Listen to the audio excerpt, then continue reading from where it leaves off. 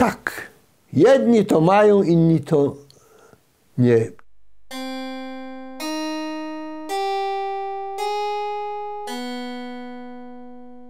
Zadano mi pytanie, jak się ma moralność do historii, czy historia do moralności. Rozumiem w tym sensie, że chodzi o to, czy moralność ulega jakimś zmianom historycznym. Po pierwsze, uważam, że moralność w swoim korzeniu jest niezależna od religii. Korzeniem religii, jak mówiłem, jest moim zdaniem śmierć. Znaczy śmier śmierć w tym sensie. Korzeniem religii jest świadomość człowieka, że musi umrzeć. No, tak mówiąc, dokładnie już. Natomiast korzeniem moralności jest sumienie. I sumienie to jest coś znowu, co jest w nas, w genach. Są ludzie, co mają sumienie i są ludzie, którzy nie mają sumienia. Jak mówi Pismo Święte, są ludzie z dobrego nasienia i ze złego nasienia. To jest moim zdaniem kwestia przede wszystkim genetyczna. Nasze geny tak się tasują. I to w nich już tkwi. Ta moralność to nie jest czegoś, czegoś, co się uczymy. To jest coś, co jest w nas. I brak jej też jest czymś, czym jest w nas. Dlaczego te wszystkie jakieś tam programy resocjalizacyjne, te całe utopie prawniczo-edukacyjno-psychologiczne absolutnie nie wierzę. Jak ktoś jest ze złego nasienia, to na, na, dobre, na, na, na, na, na coś takiego, co jest zgodne z przekonaniami ludzi dobrego nasienia, się go nie, się go nie, nie przerobi. Jak to, więc korzeniem moralności jest sumienie. Ale jak się to sumienie manifestuje, to na pewno zależy od, od warunków historycznych.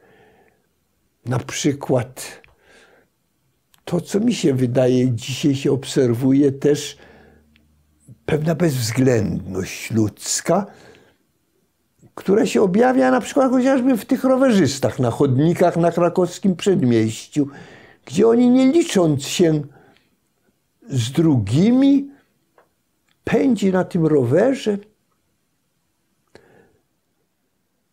To jest kwestia, ale czy to jest, to jest, no, czy to jest kwestia, tu nie potrafię tak ekspromptu dobrze odpowiedzieć, czy to jest kwestia sumienia, liczenie się z drugim człowiekiem. Liczenie się z tym, że ja w moim postępowaniu muszę brać także pod uwagę to, jak ten drugi na to patrzy. Czy to jest kwestia sumienia, właśnie jako czegoś, co jest w nas wrodzone, czy to jest kwestia dobrego wychowania. A dobre wychowanie to jest na pewno coś, co nie jest w nas wrodzone. To jest coś, co nabywamy w najwcześniejszym dzieciństwie dom, w domu.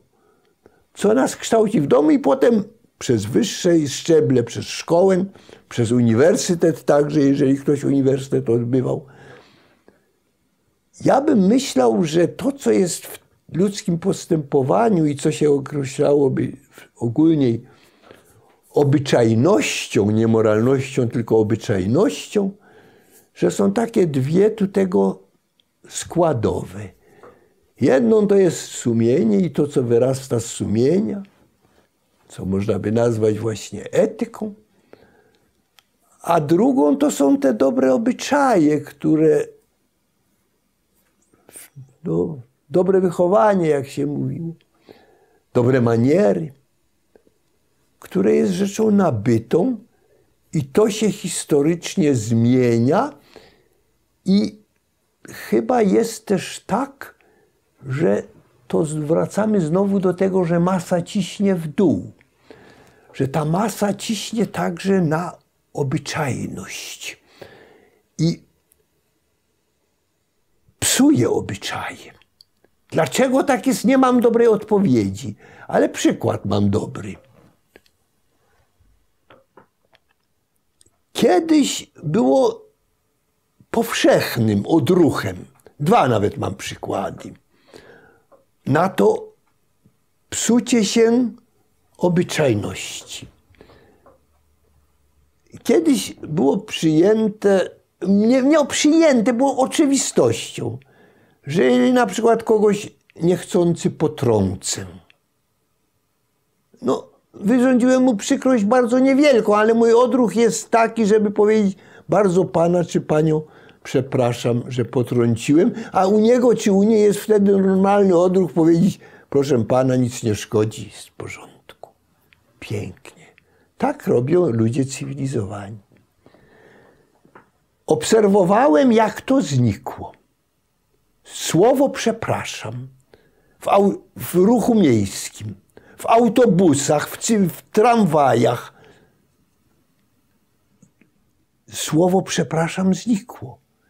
Pchają się wśród innych, jak wśród rzeczy martwych, potrącając. I wiem, kiedy to się pojawiło. Za Gierka. To było 10 lat Gierka. Rok od 71 do 80, równe do, do dziesięciolecie. W tym dziesięcioleciu to znikło i już nie wróciło. To jest jedna, jeden przykład tego ciśnienia. Tak ja sobie to w każdym razie tłumaczę, tym ciśnieniem masy, ale może tu by inne trzeba tłumaczenia wprowadzić w związku z tym pytaniem, jak się ma moralność do historii, no, że nasza historia to jest historią, jak powiedział Ortega y Gasset, buntu mas i te masy cisną, im się to nie podoba. Przepraszać? Dlaczego przepraszać? Po co przepraszać? Pchać się.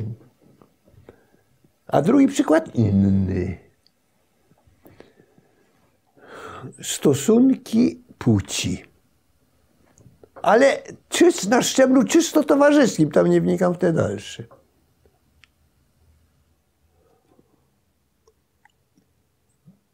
Cechą naszej cywilizacji był pewien szacunek mężczyzny wobec kobiety. Pewna, jak to się kiedyś tak, dziś to brzmi wręcz śmiesznie, nazywało rycerskość. No ale w każdym razie jakaś taka tutaj towarzyska grzeczność.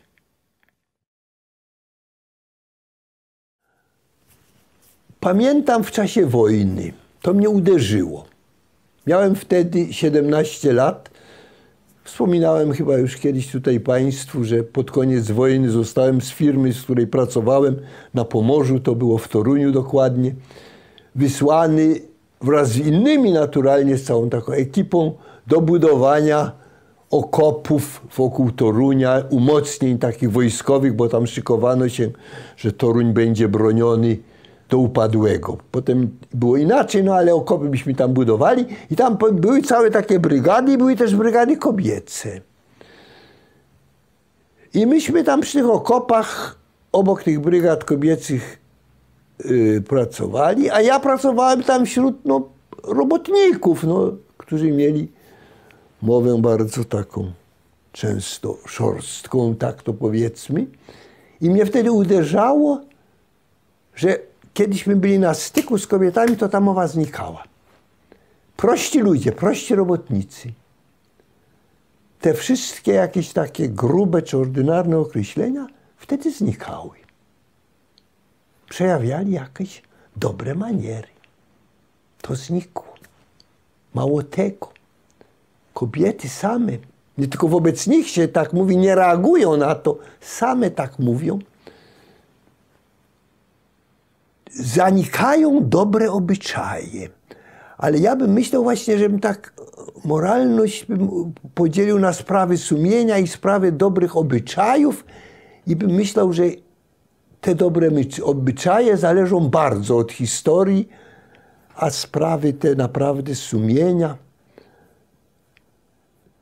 nie, że to jest, że to jest w nas, że to już jest w nas w kołysce i tak jak było w kołysce, tak zostaje do śmierci. Taki był wielki pisarz niemiecki Theodor Fontane. On napisał kiedyś taki wiersz. Man hat es oder hat es nicht. Taki jest tytuł tego. To się ma albo się tego nie ma. Tego się nie można nauczyć i tego nie można też utracić chyba nawet.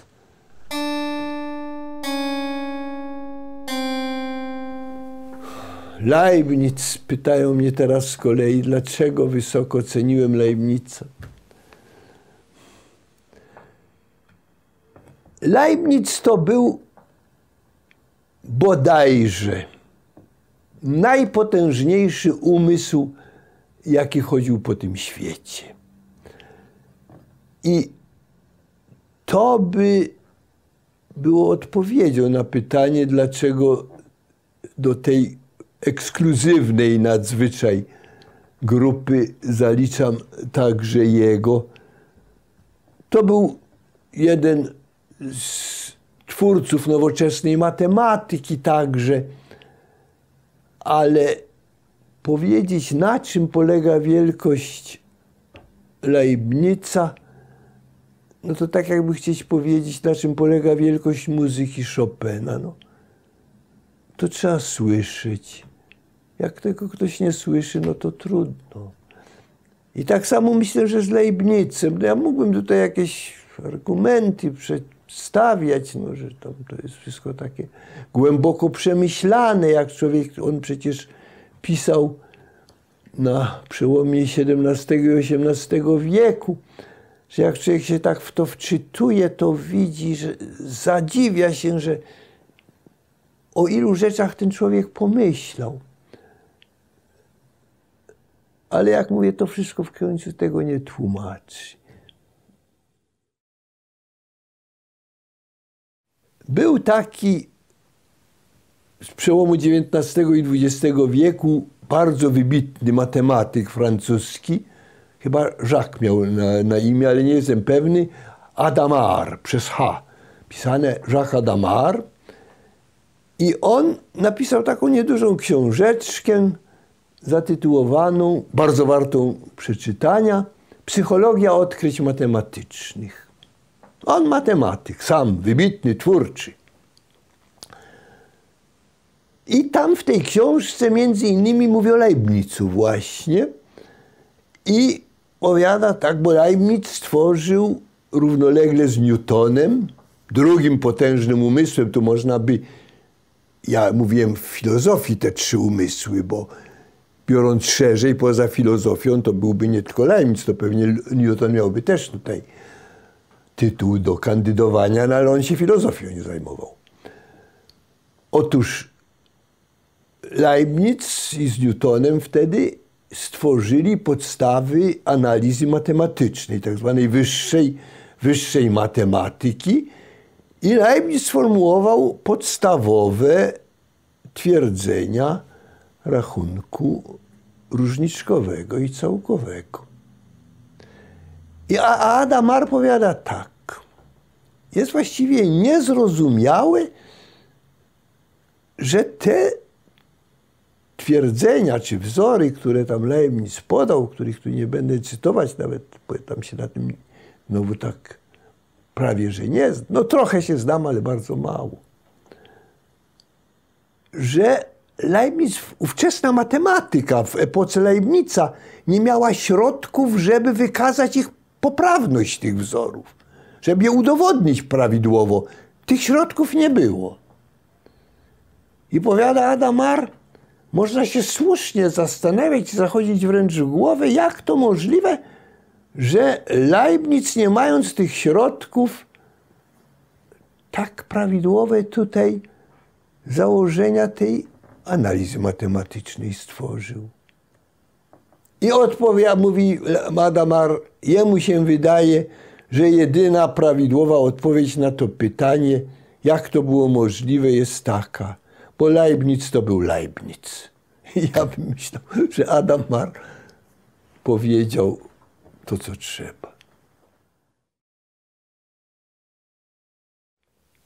Kiedyś zadano mi w tym programie pytanie, niektórzy Państwo słyszeli, że y, są takie dwa przeciwne bieguny w stanowiskach filozoficznych, jedno reprezentowane przez Heraklita, który uważał, że wszystko się zmienia, drugi, w starożytnej Grecji, y, drugie przez Parmenidesa, który uważał, że się nic nie zmienia i jakie ja tam znajmuję między nimi w stosunku do tych dwóch pozycji stanowisko, z którym, za którym bym się odpowiedział. Ja powiedziałem wtedy, że za Parmenidesem oczywiście nie w tym sensie, że to jest całe spektrum stanowisk, że oni dwaj stanowią pewne bieguny czy punkty końcowe tego spektrum. I powiedziałem to w tym sensie, ufam, że tak to zostało zrozumiane, że bliżej mi na tym spektrum do Parmenidesa niż do Heraklita, to znaczy do poglądu, że raczej wszystko jest trwanie zmiennie, niż że wszystko się zmienia. Chociaż pewne rzeczy się zmieniają. I teraz, ponieważ to jakiś tam słuchaczy zainteresowało, zadano mi pytanie podobne, też greckich filozofów, y, dotyczące dwóch innych, jeszcze słynniejszych niż tamci dwaj. Platona i Arystotelesa. Platon to właściwie w ogóle król filozofii. Trzech było tak największych filozofów, moim zdaniem, w dziejach. Platon, Arystoteles w starożytności i Leibniz w czasach nowożytnych. Ale tych dwóch ze starożytności tylko biorąc. Czym się oni różnią? Bo to dla, nie dla wszystkich Państwa te nazwiska coś znaczą. Najkrócej. Platon to idealizm, Arystoteles to, Arystoteles to realizm.